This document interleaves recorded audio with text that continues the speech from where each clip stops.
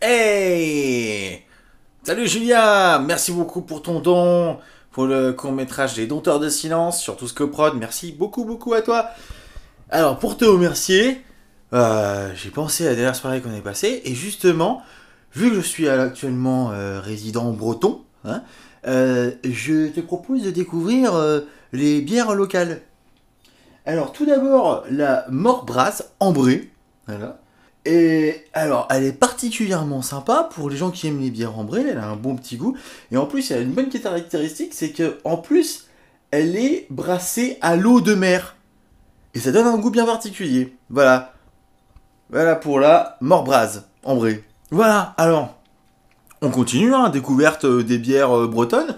Alors là, j'ai la euh, Servoise Lancelot de la très connue brasserie Lancelot. Voilà. Euh, on sent un, goût très fort au début, puis après c'est très léger, très fruité, euh, très naturel. Voilà, voilà. À tout à l'heure pour la suite.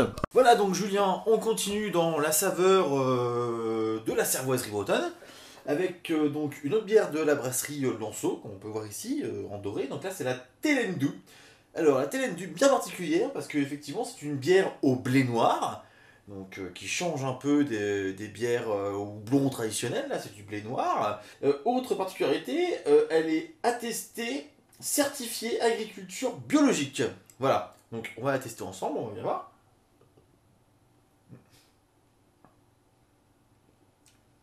Très particulier, un goût très fumé, mais moins fort que la, que la Guinness. Ouais, on retrouve un peu le côté fumé. Voilà, mais euh, très bonne bière, très bonne bière. Je recommande. Voilà, et donc pour finir, je te présente une dernière bière bretonne. Euh, On va dire une bière d'actualité, hein, enfin en tout cas récemment. Elle s'appelle la Bonnet Rouge, donc elle fait partie aussi de la brasserie de, de Lancelot. C'est une bière rouge au baie de sureau. Très jolie bière avec une très jolie étiquette. Jolie odeur, on va la goûter ensemble et je te dirai ce que j'en pense. Mais écoute, euh, bière euh, légèrement plus sucrée que les autres. Un petit goût fruité, effectivement on sent le fruit rouge à l'arrière. Très particulier, pas du tout acide et très bon. Voilà, on a fait le tour de quelques bières de, Bretagne. Encore une fois, je te remercie Julien pour le don que tu as fait pour euh, le court métrage Les Dompteurs de Silence sur Tusco Prod. Et à très bientôt. Merci beaucoup